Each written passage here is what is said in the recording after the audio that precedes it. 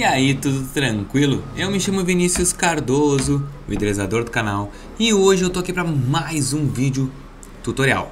Afinal, qual é o salário pago pela empresa ProSeguro? Uma empresa de segurança e também tem outros tipos de serviços dentro da ProSeguro. Nesse vídeo eu vou te explicar todos os salários, benefícios que pagam, até perguntas de entrevista se você quiser. Enfim, tutorial bem específico sobre este valor e essa empresa.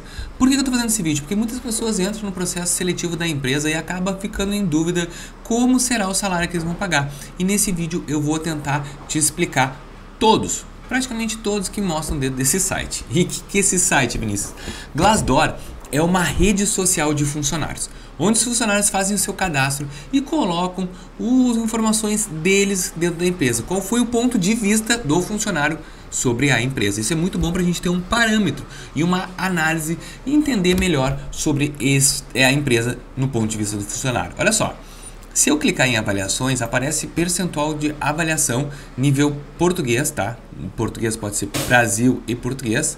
Ó, ele tem uma aceitação de 75% de recomendações. Aqui a gente consegue ver umas avaliações, sobre a empresa, como é que ela é, enfim, ó. Só acho que deveria dar mais oportunidade de crescimento aos funcionários, plano de saúde muito caro, colaborador que arca, na declarar. Então vai ter vários pontos de vista, isso aqui é bom para te dar uma olhada, ver se tu tem o perfil da empresa. Agora, vamos dar uma olhada real nos salários, tá? Eu vou colocar Brasil, já está aqui, e vou colocar mensal, senão tu vai te apavorar achando que um vigilante ganha 23 mil por mês. Olha só, vigilante patrimonial 1.900, vigilante 1.900, vigilante de carro forte 3 mil. Vinícius, por que, que tem diferença de vigilante patrimonial para carro forte? Que o, a insalubridade do vigilante, o, todo mundo que trabalha no carro forte é altíssimo. Se não me engano é 40 ou 50% do valor do salário em insalubridade. Porque o risco é alto, né? Auxiliar de gestão de numerários 1.700, vigilante 1.900, auxiliar administrativo 1.800. Tá, Vinícius, mas qual é esse salário? Esse salário aqui não é o teu líquido nem teu bruto. Esse salário é o salário que o RH trata contigo. Aí depois vai ter os débitos e créditos dentro do teu salário normal e vai virar o teu salário líquido. Então esse é o salário que vai ser calculado as adições e subtrações do teu salário, tá bom? Porteiro 1.500, auxiliar de tesouraria 1.500, vigilante bancário 2.000 recepcionista 1.800, assistente de faturamento 2.000, analista de RH 3.500, analista 5.400, técnico de segurança do trabalho 2.500, analista de controladoria sênior 6.700, motorista D 3.000, porteiro diurno 1.700, vigilante carro forte 2.000, auxiliar de gestão numérica 1.700, recepcionista bilíngue 13.200, controlador de acessos 1.300, jovem aprendiz 688, supervisor 5.800, assistente de faturamento 2.000, aqui bombeiro civil 2.500, analista de faturamento pleno 4.000, porteiro noturno 1.800, a gente tinha visto, Vamos ver aqui. Eu quero ver mais motoristas. Motorista achei pouco caro, só tem um ali que aparece. Vamos ver se tem mais. Opa, escrevi até errado aqui. Motorista. Aí.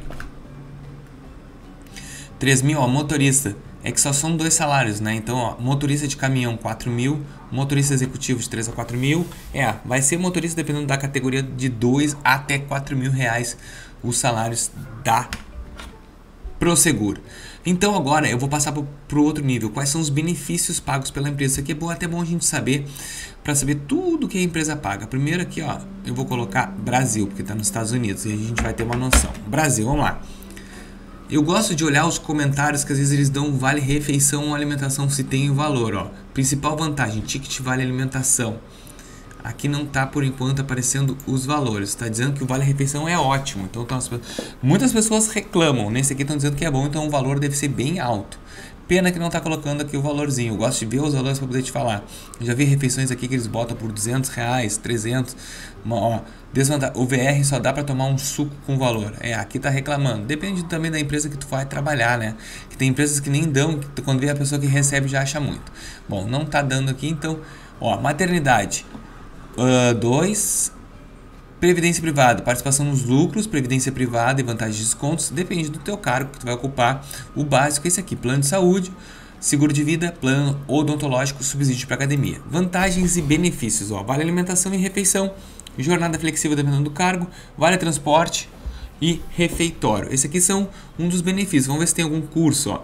Treinamento 5, eles sempre dão treinamento quando a pessoa entra, ainda mais nessa empresa de segurança, porque eles têm um padrão que eles gostam de trabalhar de serviço, que eles estão para ter esse padrão, eles têm que ter muito curso, muito, uh, muitas aulas e cursos.